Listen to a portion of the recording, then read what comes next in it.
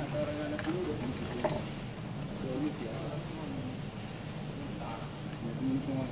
you.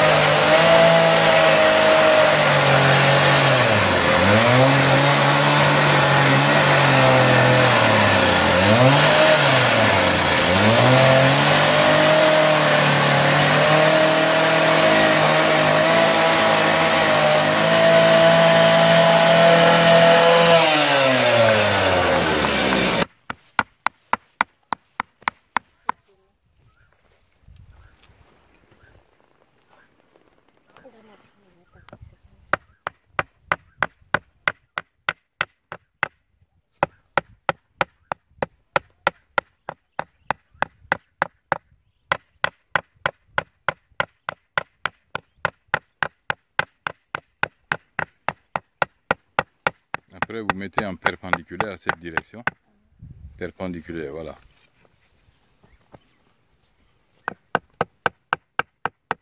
L'idée, c'est que ça doit rester concentrique, les deux anneaux, même centre. Donc, si ça s'incline un peu, le petit anneau dedans, il faut essayer de redresser légèrement. Et donc, vous allez enfoncer jusqu'au trait. Ça veut dire que ça sera dans le sol de 5 cm environ. Et en ce moment, vous pouvez commencer les mesures d'infiltration en remplissant dans les deux anneaux. Non. Non, quand le niveau est atteint, vous le commencez à mesurer maintenant. Mais les deux hauteurs d'eau doivent monter quasi simultanément. Même chose.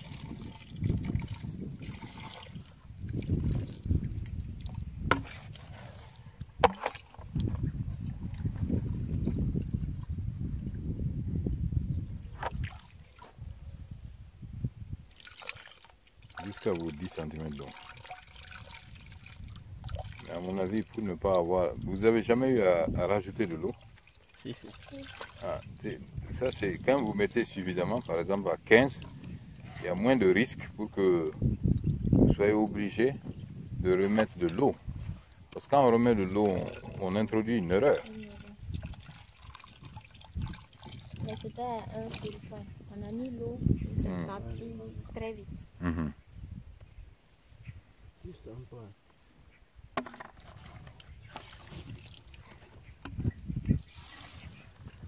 Juste un peu. C'est bon. Il y a 15 là, ou 10. Euh, c'est 10. 10. ok. C'était 10, à 0 là, au temps 0. À une minute, on est à 9,3. Donc ça descend. Ça descend. Voilà. Ça descend tranquillement. voilà. La différence. 9,3 c'est 93 mm, c'est ça Ok. Sur le, sol euh, insaturé. Hein. Maintenant, si vous voulez faire cerner par exemple vous, la perméabilité sur la parcelle risicole, il faut que ce soit dans une zone qui soit saturée. Ça, ça veut dire quoi? Vous savez que l'argile peut mettre une semaine à se saturer. Donc il faut que ce soit une zone où vous savez que le paysan a mis l'eau il y a un peu longtemps. hein. Seulement, tout à proximité, là où vous pouvez faire vos essais, vous allez remplir le double anneau en même temps. Une fois que vous avez fait ça, comme je viens d'expliquer, vous repérez, étant donné que, bon, avec le niveau, bien sûr, vous allez essayer de maintenir une horizontalité. Vous avez au préalable creusé un peu autour pour enfoncer de 5 cm les deux anneaux. Euh, avec un niveau maçon, vous essayez de vérifier l'horizontalité. Bon, on a un niveau, mais ils ne l'ont pas amené ici. Et une fois que vous avez fait ça, vous avez mis l'eau en, répandant avec votre main. On suppose que le sol là est saturé. Et euh, amenez, recomplétez l'eau là, je vais montrer cette section. Hein. Voilà, donc il faut se débrouiller pour qu'il y ait, mais un peu autour aussi, mais autour, pour qu'on ait à peu près le même niveau. Mais, mais, mais, mais, mais, à peu près au même, au même niveau. Voilà, donc s'il fait tomber l'eau sur la bordure ici, s'il fait tomber sur la bordure ici, il sépare la lame d'eau en deux. En défaut, euh, je, vais, jouer de ma main pour faire monter le niveau d'eau d'une manière similaire dans les deux. Mais l'idéal serait qu'il sépare, comme si ça c'est un, un séparateur, un partiteur. Hein, en irrigation, vous avez vu ça. Voilà, donc si c'est à peu près le même niveau, voilà, ce qui est le cas actuellement. Donc vous, mettez l'eau jusqu'à peut-être 5 cm de la bordure supérieure. Hein. Mais un peu plus dedans ici, c'est monté plus derrière. Voilà, même niveau. Le sol est tout à saturé. Ce qui nous intéresse, c'est la mesure à l'intérieur de l'anneau. Alors pourquoi on met l'eau derrière? Parce que c'est l'infiltration suivant l'axe Z qu'on veut mesurer. Vous savez que l'eau part un peu aussi latéralement. Mais si vous mettez cet anneau, vous obligez l'eau de l'anneau central à descendre verticalement. Il n'y a pratiquement pas de d'écoulement latéral. Donc nous, ce qu'on mesure, c'est l'infiltration verticale. Et donc, une fois que ça c'est fait, euh, vous savez que de toute façon, la bordure ici, il y a quelques irrégula- irrégularités. Donc, quand vous faites les mesures, vous faites par rapport à la bordure de l'anneau interne. Mais vous ne devez pas mesurer en changeant chaque fois euh, d'endroit, parce que sinon vous introduisez des erreurs. Donc, il faut repérer avec un marqueur, vous repérez très bien un seul endroit sur lequel vous allez faire vos mesures. Et donc, une fois que vous avez ça, vous déclenchez votre chronomètre. Euh, Quelqu'un a-t-il un chrono? Euh, Sur le téléphone, il y en a, sur tous les téléphones, en tout cas les, les, smartphones. Et donc, on mesure à l'instant donc, euh, initial, T0.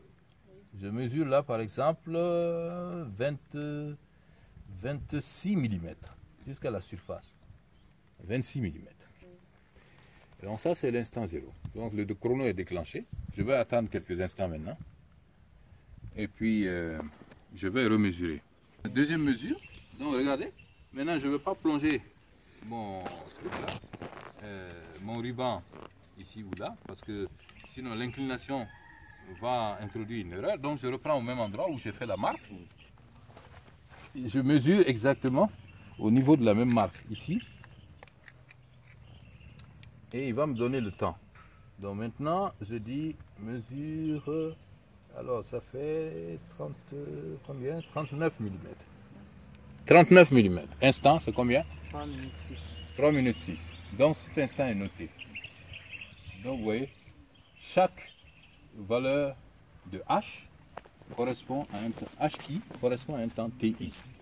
Donc après ça, euh, si vous avez une- toute une série, vous mesurez comme ça pendant de longues minutes, peut-être 4 heures, 5 heures. Au début, les mesures sont rapprochées parce que c'est- l'eau s'en va vite. Euh, mais après, vous faites des mesures, euh, peut-être chaque une de temps, je sais pas. hein, parce que ça, ça va décroître. Et à la fin, vous allez voir que ça bouge pratiquement plus. Là, vous avez atteint presque, en ce moment, si l'on fait la courbe de régression, vous allez voir que la courbe devient presque horizontale. Et si vous projetez cette valeur sur l'axe vertical, vous allez obtenir ce qu'on appelle la perméabilité. C'est une courbe de décroissance exponentielle. Décroît comme ça, très, très, très, rapidement au début, mais après ça se stabilise quand même. Euh, je devrais dire c'est quoi? Oui, c'est bien, parce qu'on fait un ajustement exponentiel en fait, décroissance exponentielle, 2 moins 1. Alors, donc, euh, une fois que vous avez fait, parce que ce qu'on a mesuré c'est H et T, mais en réalité, ce dont on a besoin c'est delta H, comme j'ai expliqué, et delta T. Donc, faites la différence entre euh, T, plus, T, plus 1 et T. TI plus 1 et TI. Et delta, euh, delta H I et delta HI plus 1, vous faites le rapport de ces deux, vous obtenez donc la valeur en millimètres par heure, par exemple. Donc dans votre tableau, vous avez une série de valeurs millimètres par heure. Vous portez ces points-là sur un graphique et vous pouvez faire une courbe de régression. Une fois que vous avez fait la courbe de régression, quand elle devient euh, presque horizontale, vous prenez l'asymptote, vous avez sur la bouche la perméabilité. On souffre pour avoir ça. Mais ça ne suffit pas aussi de faire à un seul point. Parce que le sol est tellement hétérogène, vous allez faire ça ici, vous faites là, là. Peut-être c'est différent. hein. Faites ça un peu plus loin. C'est là où la statistique intervient. Donc il faut faire sur un enfin, un nombre suffisamment élevé pour que vous puissiez en tirer une moyenne un écart ou encore une variance. Parfois, on peut tout représenter par une seule groupe, mais parfois, d'un endroit à l'autre, c'est tellement différent que vous êtes obligé de garder des courbes séparées. Donc, c'est ça en gros. Et vous aurez besoin de ça pour le dimensionnement de votre champ piscicole. Parce que si vous dites que la perméabilité du sol c'est 4 mm par jour, alors que dans la réalité c'est 10 mm par jour, là vous allez donner l'eau aux paysans, vous avez basé votre calcul sur ça, vous donnez l'eau aux paysans, la lame d'eau va disparaître avant son tour prochain. Il va dire que vous avez mal dimensionné son truc. Voilà. Eux, ils en auront besoin pour un autre, euh, un autre objectif et ils se penchent surtout sur la question du drainage. On a vu qu'à certains endroits, bon, les gens se plaignent qu'ils n'ont pas suffisamment d'eau. Ils bloquent donc les drains pour faire remonter la nappe. D'autres endroits, peut-être le problème est moins grave. Si on connaît la perméabilité dans le drain ou autour du drain, on peut savoir si le manque d'eau dans la parcelle ou dans son drain de parcelle en tout cas, le manque d'eau est lié à un sol trop filtrant, peu filtrant. Donc ça aide à interpréter la réaction du paysan quoi, avec des chiffres cette fois-ci. Voilà, donc c'est en gros ce que je voulais, ce j'avais explication. Maintenant, si vous avez des questions, des points ne sont pas clairs, Ça, ils vont faire ça surtout après les, quand ils auront fini toutes les enquêtes. Parce que ça prend du temps, ça. Donc on, a, on va amener, euh, si vous êtes bien rodé, peut-être une personne peut s'occuper d'un double anneau. Ce que je n'ai pas expliqué au début, c'est qu'on met un bout de bois, on ne tape pas avec le marteau sur ça, hein, on abîme. Si vous faites ça, vous allez casser.